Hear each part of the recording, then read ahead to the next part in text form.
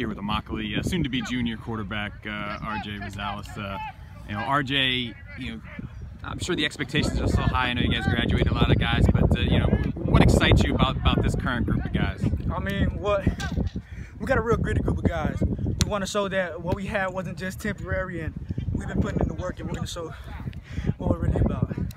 Uh, looks like there'll probably be some young guys that, that uh, you know. I know Charles Toombs. He played on defense last year. He, he's probably gonna, you know, you think he's gonna take a take a, you know, what type of running back? Is he? You guys excited probably to get him back in the, in the offensive side of things? Yes, sir. We all grew up playing together, so we know what each and one of each and every one of us can do. So he's a real versatile kid. So it's gonna be amazing to see what he can do this year, and knowing that we're gonna put the workload on him.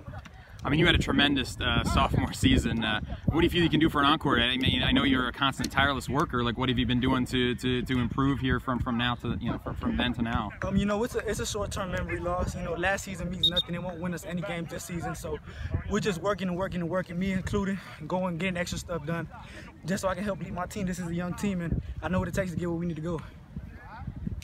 And you know, I know right now you guys are kind of in limbo, losing your, your spring game. But uh, is it still the preparation still the same? You guys are preparing, preparing like you're playing somebody. I mean, uh, I know you don't have Braden River now, but what are you just kind of still kind of you know, grinding like you like you like you normally would? Most definitely, preparation is in the separation.